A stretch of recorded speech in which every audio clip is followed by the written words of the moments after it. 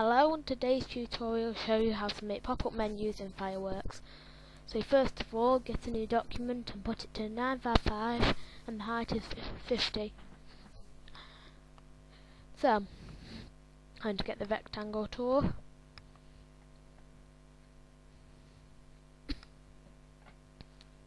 Drag it across there. Make sure it's 955 by 50 again. And click the background and fit canvas so it be all in a line. I'm going to change the gradient to that red down there. Sorry about the colours, I think it's a screen recorder. So then now I'm going to make some buttons, I'm going to use the rectang rectangle tool which is quite effective really. So I'm going to use that, do that, drag it down there, simple as that. Click at that a nice gradient and now I'm going to go control C which is basically copy then control V and keep pressing it until I get quite a few. And it's just pasting and copying that's all it is. So now I'm going to dra drag them across.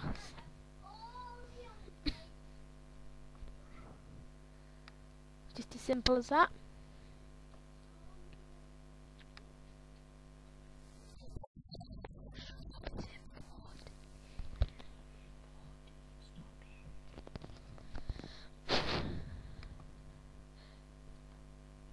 So now I'm going to put a bit of text on these buttons.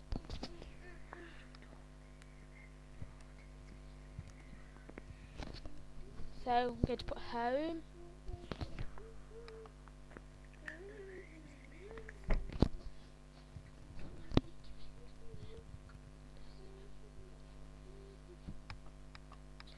Photos, tutorials,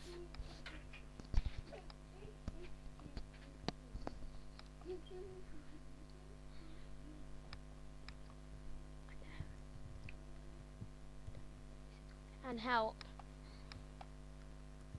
And then links. And I'll just get those back in place.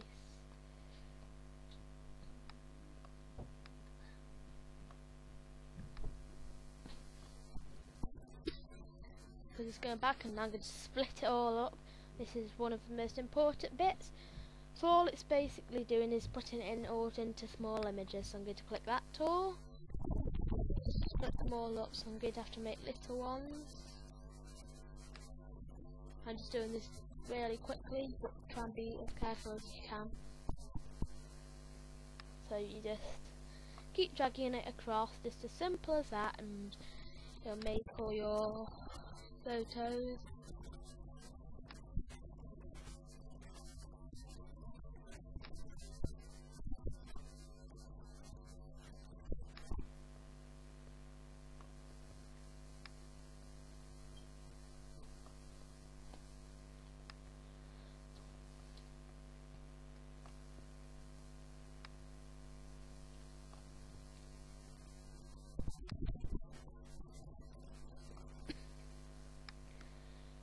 Now we're going to add the drop down menu which is extremely simple. So I'm going to get the selector tool and I'm going to click the one that I'm going to add the drop down menu to which is photos. So I'm going to, you're going to modify, pop, pop up menu, add pop up menu.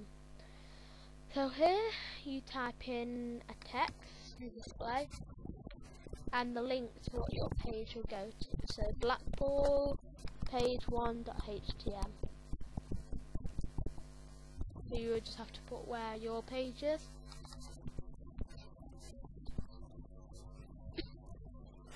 Where your page 2.htm.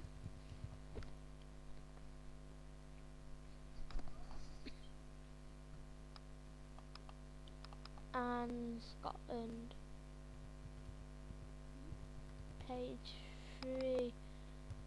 3.htm.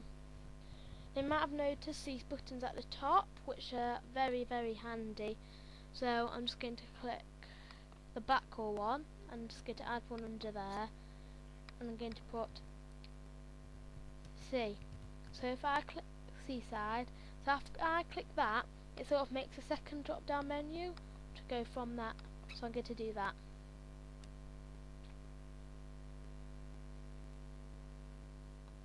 So that's that bit done. Now I'm going to change the appearance. I'm going to change it to an image. So I'll just put it up on, I'm going to have nice and colourful blue. So that one's so that one's the one that will roll over. So I'm going to pick some backgrounds for them.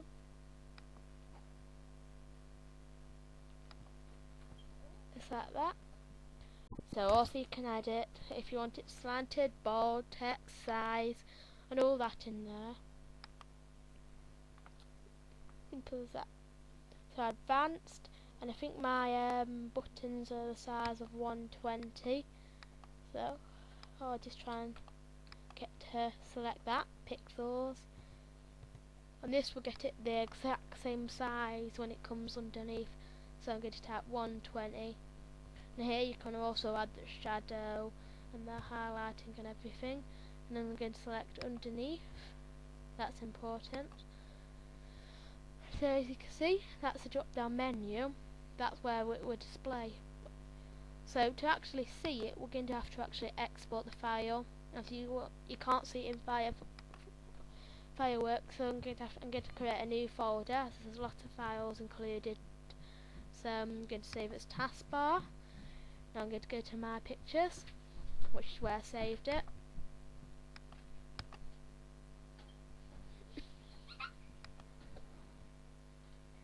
and test bar 100. I'm going to open that. Open with Internet Explorer.